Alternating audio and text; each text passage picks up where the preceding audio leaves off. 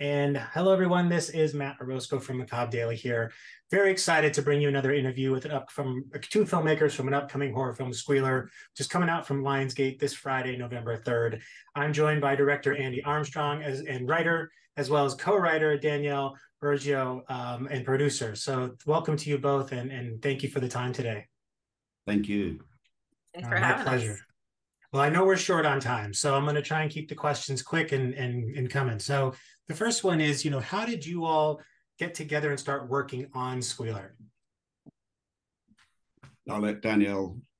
Okay, I'll start it off. So Andy and I um, had worked together in a different capacity many, many years prior, and we'd always toyed around with the idea of doing a movie together. And way back when, he had told me this story about this pig farmer turned serial killer. And he said, I'd really like to make this movie one day. And then he was off doing a million other movies. And I think seven years went by. Wow. Uh, and then when we reunited and we decided we wanted to write something together, uh, he said, "Okay, let's you know, let's do it. The stars have aligned. We have time. What are what are what should we write about?" And I was like, "Uh, hello, pig farmer turned serial killer that you told me seven years ago. It's still the story is still stuck with me." Um, and he he agreed. Um, and so it really, I mean, we we just hit the page running, I guess you could say. Uh, we did make a very conscious effort to in, leave it inspired by a true story. So it is in part a true story that I hope will appeal to the true crime fans out there, but also we took quite a lot of liberties. We, um, you know, I'd say it's a half half. It's it's a bit of a hybrid situation where a lot of it is just made up by mm. us uh, in hopes to be respectful to the the victims and the victim's family. This story is not that old, so there's still a lot of people out there that might be attached to the story, and um, we just we didn't really want to tread too deeply on that. Just uh, keep that clean and respectful. So, and also to pay homage to the horror genre. So it's a bit of a blend, and I hope we did that well. Oh, you did. Well, thank you, Danielle. And um, over to you, Andy. You know, what was it about the Robert Pickton story that was so fascinating? I mean, aside from the story itself is kind of uh, odd and absurd, very Ed Gein like, but what is it that drew you to it? I, I, I love the idea that it was that it's in everybody's backyard. It's it, it, and and in a beautiful backyard as well. I mean, the real story took place in Vancouver.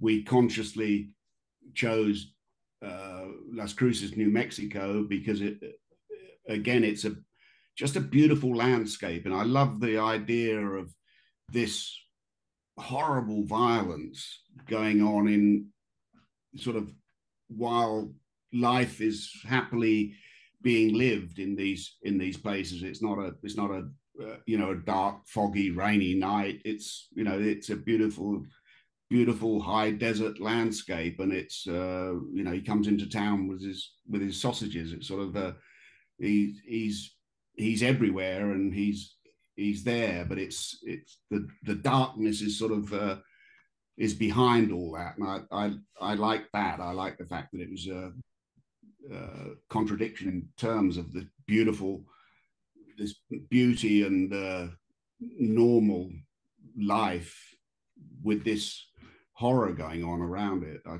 for me, that was the that's that's re- for me that's real horror. You know, the, the fact that it could happen anywhere to anyone. Yeah, I mean, especially in Canada, where it's not like serial killers are as prolific as they are here in the United States, where Canada doesn't have, you know, the laundry list of serial killers they can do documentaries or, or films upon. Um, and I would absolutely agree with you. I think the normalcy of having this kind of thing happen in your backyard, New Mexico being a perfect place for that. I mean, Breaking Bad, Breaking Breaking Bad, obviously is the another example of this kind of out of this world thing happening in this very kind of normal pedestrian location. Um, so I think that really came through in the filmmaking. And thank you. It, and, and Danielle, I really like what you said about you know kind of acknowledging the fictionalization of these because I think a lot of times films, especially in the true crime genre, have a hard time being able to delineate between those two, simply mm-hmm. because you want to bring viewers in with the kind of tenacity and, provo- and, and, provocative aspect of the of the of the truth, but at the same time, the truth isn't always as dramatic um, as a film needs it to be in order for it to really come out the screen and have an effect on you. So, for the both of you, I mean, how difficult was it to manage the truth versus fiction component of the story, the story writing? Well, in this particular story, there are so many juicy bits, and so many of our characters were inspired by this true story. So I think we, you know, it was pretty easy to grab onto the the bigger building blocks and then say, okay, like what do we need to weave in, and how can we take this and and make more of a horror film out of it. And so the entire uh, journey of the character Lisa, that is all completely just, you know, made up. And I think it's her story that weaves into a bit of the true story that brings the two of them together. And then it's like, okay, well, then how do we, you know, how do we reach a climax in this film and how do we do all that? And that was just, you know, um, Andy is always full of so many creative, brilliant ideas. So I lean on him a lot for those. He's just can spew them out. Um, and then I tend to say like this one works and that one doesn't. Yeah. And um, we work quite well together that way. So it was a it was a pretty fast process. We we wrote this film in just a few months' time, really. Oh wow. That, that, that is pretty quick and you know yeah. i'm glad to see um, but you know when, when you have when, you, when you're working on something and kind of all things are aligned uh, i think the creative process tends to be a little bit more fast moving and breakneck and I, I, should also clarify like I, I, will say that for the first draft and then you know cut to by the end of filming there were about 237 drafts yeah. so the writing never stops but anyway to get a first draft done was was fairly quick it's good that you were both on that right because you both have the perspective because it's not often that the writers are privy to the production kind of right. every day on set and so you don't have that control of what was intended on the page versus what is being brought to the screen um, and you know, I wanted to ask you both. I'll start with you, Andy, then go to you, Danielle. You know, what was the most rewarding process part of this process, particularly for Squealer, and then what was one of the most challenging parts for you? Uh, every day was absolutely in, incredibly rewarding. It was I, I've, I've you know been around the movie business uh, uh, sort of uh, a long, long time, and there was not never nothing I've ever worked on was as just as as pleasant and fulfilling each day. Every single actor came with their not only their A game, but they came with options and ideas, and you know, and the, and they were so supportive. I mean, I to to have done this movie in the time that we did it uh, with a uh, sort of less productive uh, characters uh, would have been impossible. These every single person that came, both crew and cast, just brought their best to it. It was just a really, it was one of those really sort of blessed things where you know everything sort of fell into place with with uh, with with people bringing really good ideas and really good sort of tastes whether whether it's to a character or whether it was camera people or whatever. They they everybody really sort of brought their A game, and for that it was every day was satisfying. I couldn't I couldn't really tell you which day would be better than others, and and uh, in terms of the the sort of least rewarding thing was probably um, you know the time it took through post production and all that sort of stuff, but but even that it all it all came together very very well really, and we're we you know we were just uh, we sort of pinching ourselves all the time that it was amazing that it has, you know, that that we've had this amount of support from this number of people that uh, did it all so pleasantly as well. It was just a real, it was real pleasure to do it every day. To turn up, it was just, a, it was for me, it was just a, a, a sort of luxury. Thank you, Andy. Uh, you, Danielle. Um, I'm going to say I think for me uh, there's there's so many things to for me to have been excited about, but seeing Ronnie actually embody the role of Squealer. So Ronnie is an actor that I worked with so so many years ago and when we first decided to write this story, I said to Andy, I have our squealer. um, do you trust me? And so I introduced them and they hit it off and we actually uh, you know we had to fight a bit because you know we had to to fight a bit to have him. He's maybe not the big name that he should be. And at one point in time, uh, we lost him with scheduling. Wow. And then a miracle happened and we ended up getting him back. So because for me it was always him and I just didn't want to imagine anyone else in the role like it it just always was Ronnie. So to see Ronnie show up on set and to get to give the performance that he did for me was probably the most satisfying part. Yeah. Um because I think he just knocked it out of the park. He's amazing. Um, and in terms of challenges, for me, I think this is my first um, experience as a writer and a producer on a feature.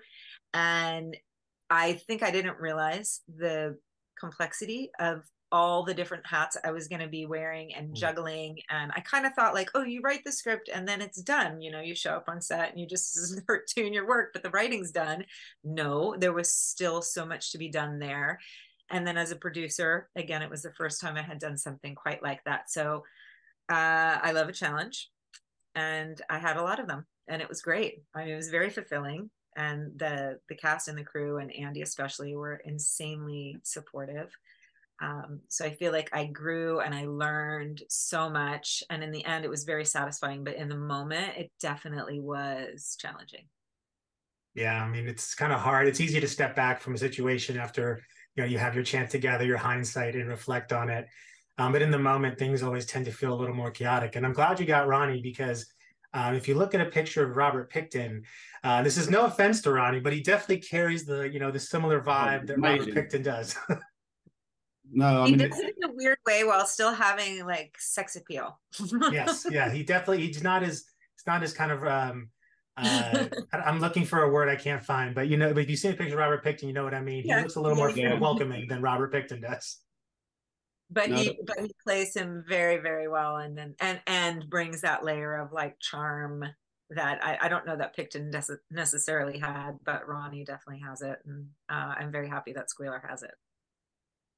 Yeah, he he he just brought so much to it, just so just on on every level, you know, on on the the gentleness and the, the, the pleasantness everyone can go to the sort of super dark side of a guy wandering around with a knife and things, but it's it's those other passive nice parts that are so difficult to get right. I think with a, a character like him, and he just he just owned it. You know, I don't I don't know how else to put it really. I mean, every day he would. Uh, I would give him so little direction, really. I mean, I, I'd take the sort of credit as a as a director, but in lots of ways, every every actor we had just you know they brought it to the set and they just were that character. I could just sit back and watch them really. It was fantastic.